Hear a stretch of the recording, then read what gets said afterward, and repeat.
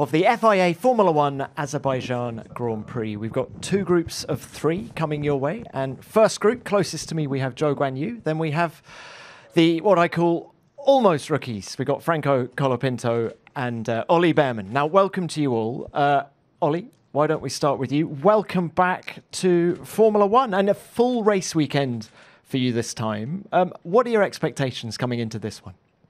Yeah, it's nice to be back, first of all. Um, of course, not the circumstances I, I would have hoped, um, but nonetheless, it's a great opportunity to build up my, my experience, uh, get a full weekend under my belt, like you said, with some notice this time. I, have been known it was coming, uh, which, which is helpful.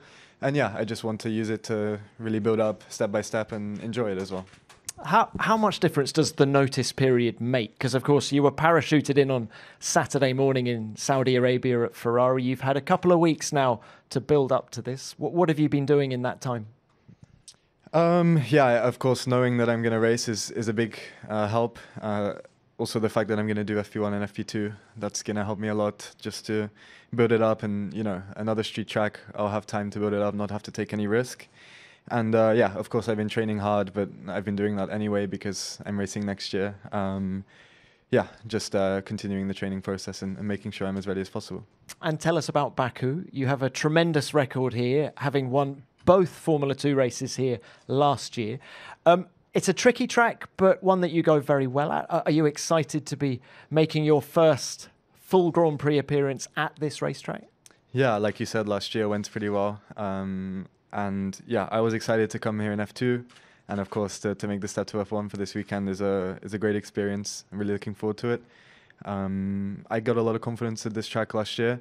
From the outside, it was a very clean weekend. On the inside, I hit the wall um, every single session, so I'm going to be trying to tone that down a little bit. Um, and yeah, just have a clean weekend and enjoy it as well. Is is that the goal? Just have a clean weekend and enjoy it, and, and what will be will be.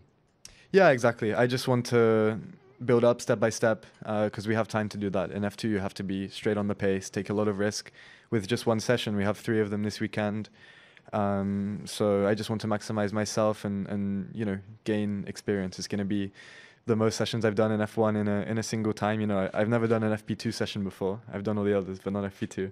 So um, yeah, it'll just be a case of building it up, um, and enjoyment is is coming anyway. So yeah. Well, look, best of luck to you. Thank you, Ollie. Franco, if we could come to you now. Before we talk about Baku, can we throw it back a couple of weeks to Monza? How do you reflect on that first Grand Prix weekend? Um, it was it was very special. Uh, it's amazing to see here so many people. In F2 there were so little, and now it's full. um, but I'm very happy to be here. It's uh, it was a very special moment in my career. Of course, you you always work for that for that goal and, and that dream since you are very little and, and to have achieved it in Monza. Uh, it's very late notice. I was in the sim for F2 preparing the race uh, of Monza with, with the MP team and suddenly I got a goal that I had to go to, to England and I did the best prep I could but was, was very little. Um, unfortunately, I didn't have a lot of experience in the Formula One car so I had to learn quite a lot of things uh, very quick.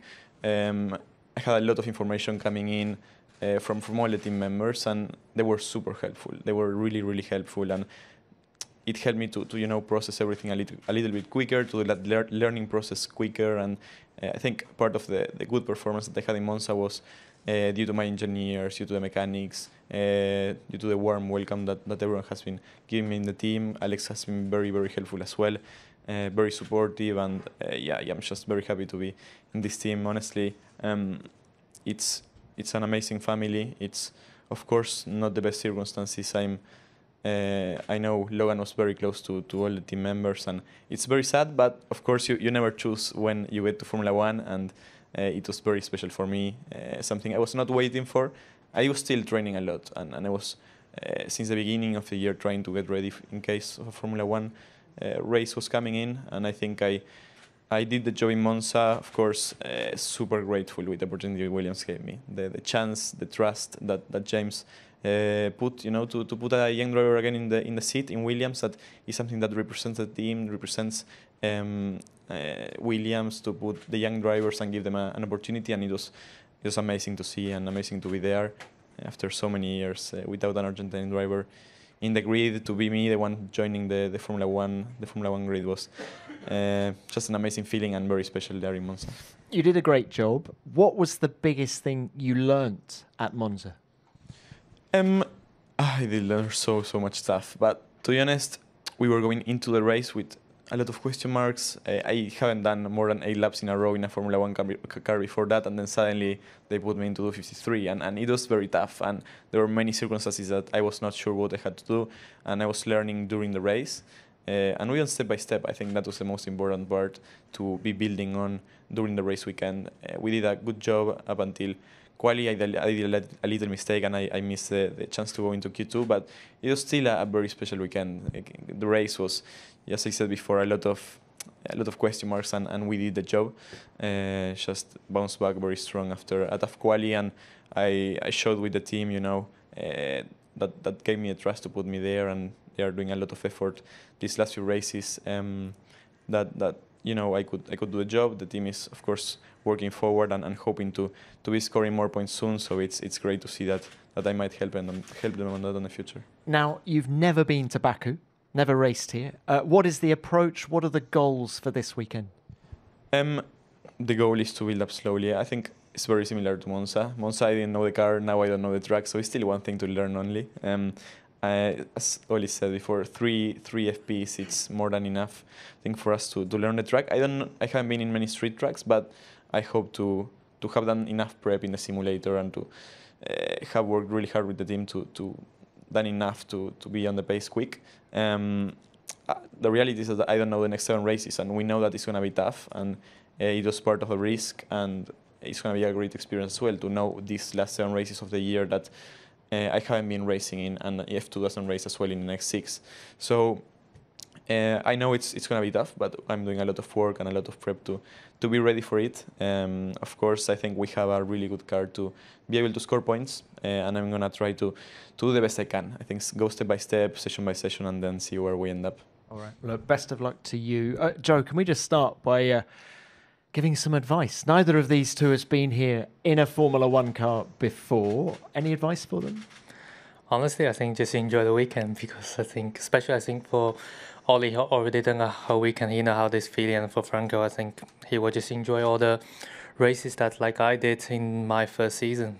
I mean, you know, like the certain style obviously is different, but uh, I think every driver, especially in F2, really wanted to take that chance, and he has the perfect platform for them to shine and have a nice future. So yeah, I just wish them all the best, but not go too fast though. Stay behind. well, look, why don't we talk about the the performance uh, of Sauber? Um, the team said there were a lot of learnings over the Monza weekend. Uh, what were they? Where are you at in terms of performance at the moment? You know, every weekend we're like, obviously, we're having a similar package for a few races in a row now, but uh, like every weekend we're trying to extract as much as we could. Like together with me and my teammate, we try to have a different setup to understand what is the needed for the current situation to making a bigger step even for the next coming races or is for the future development. So it's a tough situation at the moment just because I think uh, we don't really have the pace fighting yet to anywhere close to top 10 and uh, we keep the let's say motivation high and uh, we want to learn as much as we could in every certain stand and to understanding therefore with high downforce track, low downforce track, and then see how it goes also here in Baku in Singapore because I think the last two races to the coming two will be completely different circumstances. But uh, yeah, it's a difficult one just to give a very high expectation, but uh, we are trying to work in each individual areas that uh, current weakness and trying to solve that, and hopefully that can give us a let's say better better coming up races, and in terms of performance, we can be fighting more close up. Well, what what about this weekend? I mean, it's it's a unique track layout here, isn't it? You've got the 2.2 kilometer um, straight, and then it's a street track the rest of the way will that make things better for you or? I not? think it makes more hope for sure for the race. I think the the race will never end into you know the last last laps. And uh, for us in the past, I think this not being one of the track we've been especially struggling a lot with, and uh, we're just hoping with uh, what we have this year so far that uh, can give us a, uh, a better overall performance. And uh, in terms of you know using as much as we could with the benefits of the current car, and uh, yeah, the rest we need to go let's say step by step from FP1 and see how it goes. And I think the most important is a lot certain stands or track we go to when the car you put that on ground is is working well, and then you have a really good weekend. So we just need a few more this back like the beginning of the season, and then we should be in a much better position. All right. Well, look, best of luck to you as well. Now, let's turn to the broadcasters. Who's got our first question, please? Harry. Hi, Harry Benjamin, Sky Sports F1. Uh, question to Ollie. Um, I just want to focus on um, the notice period you mentioned there. Obviously, you've had a couple of weeks in comparison to being parachuted into Saudi. But was it only a couple of weeks? Did you have a little bit longer? Because Kevin's been on 11 points for a fair while. A ban was highly likely before the end of the year. I'm just wondering if the team or Ayao said anything to you longer than a couple of weeks ago, just to start getting ready before the end of the season, just in case. Well, I mean, my preparations have been kind of looking towards next year. Um, you know, since the announcement that I'll be racing with the team next year, and it has been a while that Kevin's been, you know, close to a race ban. Um, so I knew it was a potential, you know, possibility to, to jump in the car at any point. Um, and yeah, if I could have chosen, it would be one that doesn't clash with F2. But uh, you know, you don't choose when to jump in F1, and, and every opportunity is one that you take. Um, but yeah, I've been really preparing for next year, and, and part of that means that I'm ready also now. Um, so it's a, another great um, opportunity to show uh, how I've improved and, and what I can do. Thank you, Ollie. All right, next one. Yeah, uh, Rodriguez uh, from the Zone Spain. Question to Colapinto to Franco. Congrats for the for the race. Uh, I would like to know, uh, in terms of driving, uh, you have a very good teammate Alex Albon. Uh, where is the point where you have to improve on driving style to get closer to him? Hola Roldán, ¿qué tal? ¿Todo bien? Um, yeah, yeah, it's it's tricky. You know, it's a very big step from from F2 to F1, and luckily I've been working a lot in the simulator. I've been helping the team to to improve the car as well uh, in the deal. So that's been very helpful already. I think it prepared me well for for the races. Um, I have a lot of things to work on. I think, of course, going into the race, we didn't have any information almost about uh, my data, about what I was doing wrong. Uh, so now we have a lot more things to work on, and we use very well. I think these two weeks to understand better what do I need to do better. Is a kind of similar track. I think very low speed, long straights, low downforce. So um, I think it's going on the same direction. Uh, I had to fix a few things that uh, I really worked on the sim. It has a lot of power. It's sometimes a bit difficult to manage the power, the, the sleep on exits, the sleep on entries. Uh, tires are, are very sensitive to it and just need to manage that a little bit better. Um, Alex is very smooth. He has got a lot of experience in, in Formula One, and I am, I think, using that very well to to understand in what areas I need to improve. Um, I think that the tires are the most difficult part to, to understand, and just working on that to to, to nail every session. But it's uh, always always difficult. Uh, yeah, really working on that to to be better in the next few rounds. Thank you, Franco. All right, Diego. Uh, Diego Mejia, Fox Sports Mexico. Question to Franco. Uh, so, Franco, congrats on the debut as well. Um, seems like your popularity has suddenly exploded in, in Argentina and uh, part of Latin America. You've been enjoying it on social media, as uh, we've seen the, over the past few days. How are you? How are you embracing that? And how? What has surprised you about the change from two weeks ago when you were still a Formula Two driver? Well, no, I I always enjoy to, to interact with the people. Luckily, the Argentinian fans are amazing, and you know they in one on one way they help me a little bit to get to get to where I am now.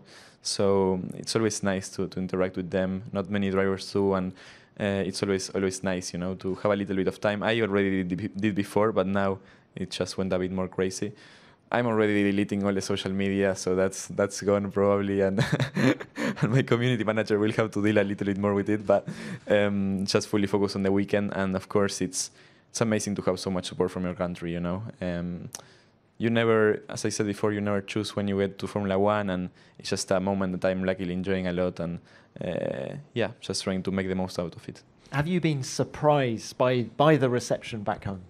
Um, no, I I knew it was gonna be like this. You know, it's been 23 years since an Argentinian driver got to Formula One the last time, and there was so much need of the country. They love sports, and there was so much need from Argentina to have a Formula One driver on the grid. They are very, very big motorsport fans, and to be honest, I would have loved when, loved when I was very little to have someone in Formula One to be able to support, to be able to wake up in the mornings and watch the races.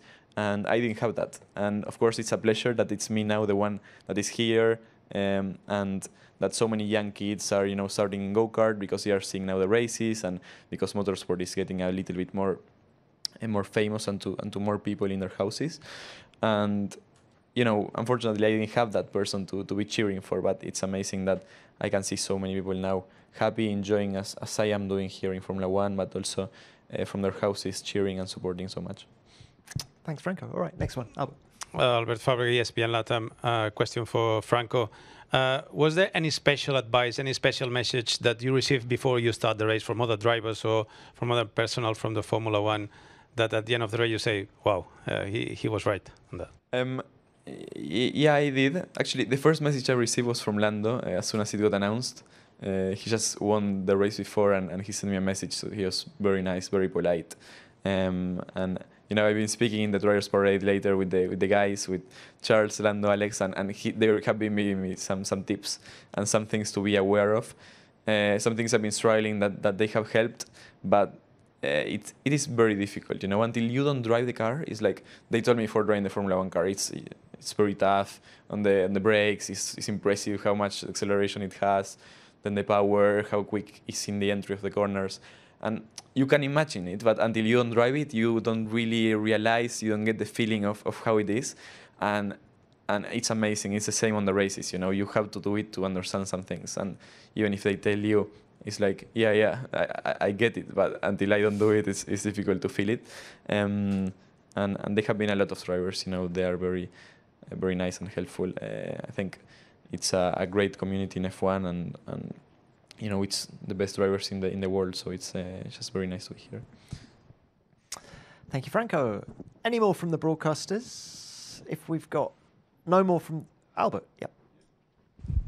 Uh, that's another one for uh, Franco, but as well for Oli and Zhou. Uh, jumping from the Formula 2 to a Formula 1, uh, do you think that the car is is uh, is teaching you, is preparing you on the right way uh, because using the same tires and, and the, the type of car, the characteristics of the car is preparing you perfectly to jump on a, on a Formula One, or there is always uh, a gap that you can never expect? Do you want to start? he can start. He's he's current driving F2 like All right. more closer to now. Ollie, go on. Thanks, guys. Um, yeah, no, I mean it's uh, it's the closest category to F1, but uh, I think nothing can really prepare you for F1. Um, just you know the amount of investment and time that goes into producing an F1 car, and it's developed throughout the year um, and optimized really by by so many people. Um, it's really a different ball game than driving the F2. So you know, despite the F2 being the closest as possible to, to F1, um, it's still a very big step once you get to the F1. In terms Um, of performance, what is the biggest step? For me, it's the um, just the downforce level of F1. It allows you to do so much more. Um, the way you drive the car is, is a bit different. I would relate it a bit more to F3. F3 is very similar driving style to F1. Um, and yeah, you can just play with the limit a bit more in F1. Um, and yeah, like I say, it's optimized. So it's really, I mean, when the car is on point, it's it's really perfect, and it's more of a confidence thing whether you extract a lap time or not. Whereas, yeah, it's it's a bit less. Once you really know the car in F2, it's more, you know, you drive to what what is possible from the car rather than yourself. Um, yeah, I think you know it's a championship that is the closest to Formula One, but nothing can really compare to this. Um, suddenly, when I got the first test from working with two or three engineers, suddenly I opened a room and, and there were 30 of them, and uh, you had one that is checking the wind, one that is checking the clutch, uh, one for each little thing, and it's just like it's a complete different different level, you know, of, of investment of technology, and it's something that you need to get used to.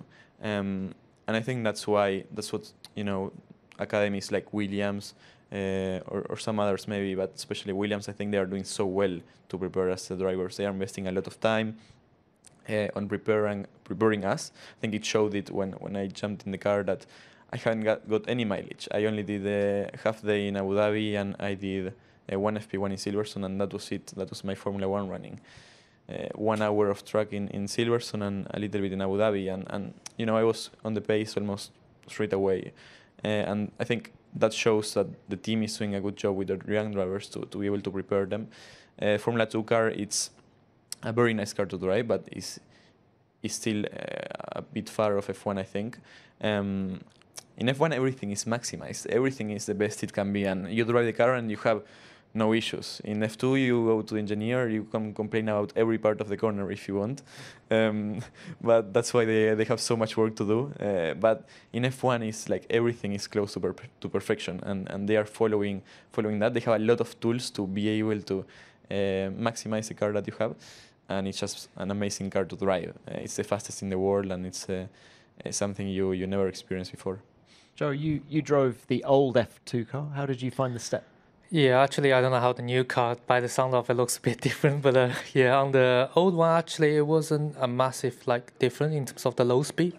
But uh, of course, the biggest feedback we had was the power steering wheel when it came, and also like the high speed downforce because suddenly you are approaching a high speed with much higher minimum speed, and with the lightness on the wheel, that it gives doesn't really give you the confidence to be pushing the car around uh, for the first time when you tried it. But uh, yeah, I think the whole back in the factory, how as a team, a group of people working F2 communicate compared to Formula One is completely different world because obviously everything you are communicating with two of the engineers only in F2 and they're helping with everything start, car balance setups and there's so limited certain things you can do. But uh, here you know you can change every single part on the car and try to make the benefit of it. So I think it is a big step, but uh, it is a good one to be, of course, get yourself as much prepared as possible to, to be ready for F1 chance. In Baku, and as you can see, we're joined by Fernando Alonso, Pierre Gasly, and Daniel Ricciardo. Now, Fernando, can we start with you? Because the news this week has been a lot about Aston Martin and the arrival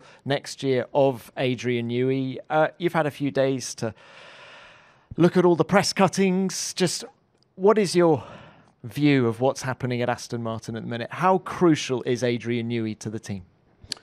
Well, it has been a yeah a positive week for sure for the team with the with announcement and um, and yeah he's a great addition to the team um, and probably uh, for me what I think is that you know the Aston Martin team is the team of the future in in a way you know we are just opening um, new buildings uh, at the factory, the campus. Now building two is finished. Wind tunnel will be January.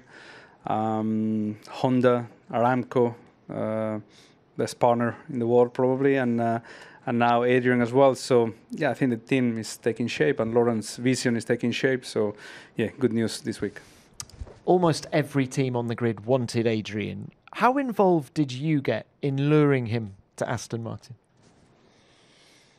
Um, what a question for him. I've, I, text him for sure, and uh, like everybody did probably that you know I wanted to work with him, and uh, yeah, I saw him also at the Monaco historic Grand Prix um, that he was racing that week as well, and we spent you know half an hour chatting as well, and I don't know. I mean, uh, we all tried to persuade him, and uh, I think uh, ultimately, I think Lawrence and as I said, his vision, the new factory, and, and what Aston Martin wants for the future, together with Honda as well, were probably key factors listening to what Adrian said yesterday. Now, he starts in March next year, and, and the focus is 2026. Do you think he can have an influence on 25 as well? I don't think so. I would like to say yes, but um, honestly, I, I, don't think so. Um, March 25, I think the focus for most of the teams will be 26 project and change of regulations. Um, you start in March until you know everybody and you know you take place in the factories April or May, and I don't think that is really worth spending too much in the 25 campaign unless you are fighting for the championship, which I hope we have a nice surprise, but I, I, I doubt it. So um, I think the 26 project should be um, the first car that he has a, an influence. Right, look, final one from me, Fernando. Let's just bring it on to this weekend. Uh, Baku was a good race for the team last year. What are your hopes coming into this one? Uh, let's see. I think every every race it seems a little bit different, and uh, at the midfield everything is so tight that you know one or two tenths can make a huge difference, and uh, hopefully Baku is one of those positive weekends for us. Um, last year it was a sprint uh, event, so we only had FP1, and it was a little bit um, difficult for everybody. Hopefully now with the free practices we can uh, fine tune the car, and, and let's see. All right. Best of luck to you. Thank you for now. Uh, Daniel, can we come to you next? Both you and Pierre have worked with Adrian Newey. If we could just start on that topic. Um, what does he bring to a team? What advice can you give Fernando? What what is what can Fernando expect? uh, I I don't think I could give much advice to the most experienced uh, guy on the grid. Um, but uh, look, obviously, I, I enjoyed. You know, I've, I've spoken it before. I enjoyed a, a, lot of my time with him, and it was just even a, yeah, like a privilege to you know when I joined uh, Red Bull Racing in in 2014. Uh, yeah, just to drive one of his cars, work alongside him, and um, I mean, yeah, it's it's not obviously his his level of expertise in in his field, and you know, I, I will normally just feedback things. It's not that I can stand toe to toe with him and, and speak his language, if you know what I mean. Um, but it was uh, just to try and obviously collaborate in those years and and give give what I could, and then let him obviously work his magic. Uh, that was just a cool, very very cool experience. You know, walking past the office, seeing the drawings and everything. It's uh, it's yeah. I mean, it's not for show. He's he's there with pen on paper and and yeah, just uh, very I'd say very unique but very special way of working. And uh, yeah, from that it was just obviously a pleasure and a privilege and. Obviously, I don't need to give Fernando any advice, but I'm sure it'll be an enjoyable experience. All right, thank you. And and what about this weekend? You've got the new floor on the car. What are you expecting? Yeah, so I'm I'm looking forward to that. It's um, I'm all, I mean looking forward to driving here again. You know, I didn't I didn't do this one last year, so it's another circuit that I'm yeah just keen for. It's a race as well that can throw anything up in the mix. So it's you know one where I think, especially us, you know, maybe in that midfield battle, it's it's one where we can hold on to maybe some optimism that you can get a maybe a bit of a special result um, on on a circuit like this, and as as the race plays out as it normally does. So, yeah, look, first and foremost, the updates. Yeah, try and get those going tomorrow. Get into the circuit, kind of feel it again, and uh, hopefully we're in a good spot then by Sunday afternoon. All right, best of luck to you as well, Pierre. Can I start on Adrian as well? Is it true that he he speaks a driver's language? Yeah, it is true. I mean, uh, yeah, it was very special. Six months working with him. Um, you know, very similar comments to Daniel. Obviously, he got the chance to work for for uh, much longer time, but is one of the most successful car designer um, in our sport, and he's got a very unique way of approaching racing, approaching um, design. Because similar to Daniel, I walk in the factory and see him in front of his board drawing all sort of stuff which I could not even tell what was really going on on there but um, ultimately it just seems to work uh, when it, it gets to the track and um, very humble person which I liked on a on a personal level I always had great talks with him and always accessible which uh, which was very enjoyable um, for the time we, we had working together all right, thank you. And and what about Alpine then? It's been it's been a frustrating couple of races for you since the summer break. Um, what are you expecting here? Can it be better? You're, you're being tough. You're being tough because we Zandvoort Zandvoort was actually really good for us. We, we were top of the the midfield. Um, last last race was uh, yeah it was definitely more um, disappointing and and more difficult in Monza, which we knew historically doesn't really suit our our package. And objectively Baku is another one where last year was was also very tough. So um, yeah we're coming with a humble approach. We have the similar car than than we had in Monza and, and we know on paper doesn't uh, look like an easy weekend but you know as Daniel said it's one of these races where um, everything can happen um, can be thrown um, in, a, in a good spot at, at any moment, and um, and hopefully we'll be able to capitalize any opportunities that um, that uh, opens up here. All right, best of luck to you.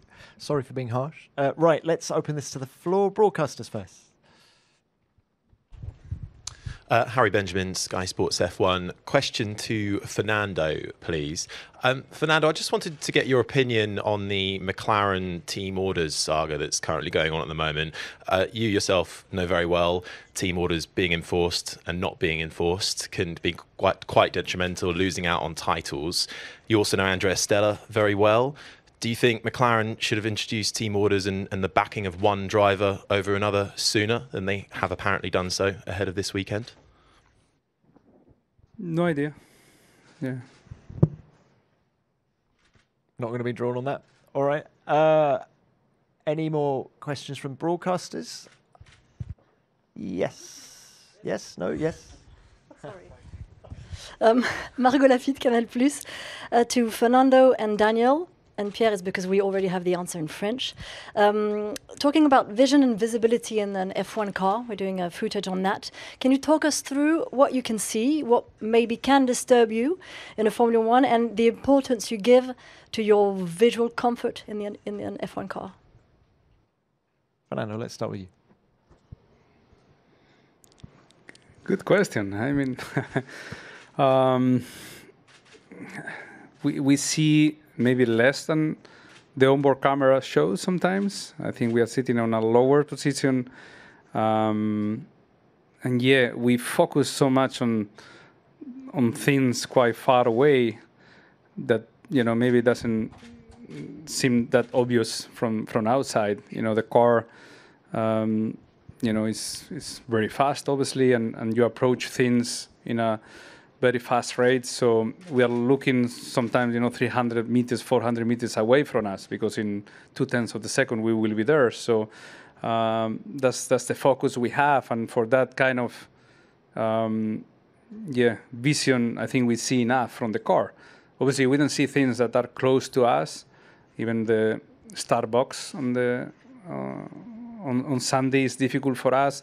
Pit stops are a little bit of a guess as well because we don't have the exact um, point of where the front wing stands or the or the tires sometimes.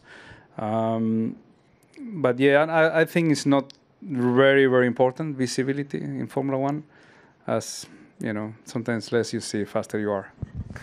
okay. Daniel, how about you? Um, yeah, I think uh, look, Fernando touched on a lot of the points. It's yeah, um, I think it's always been tricky to.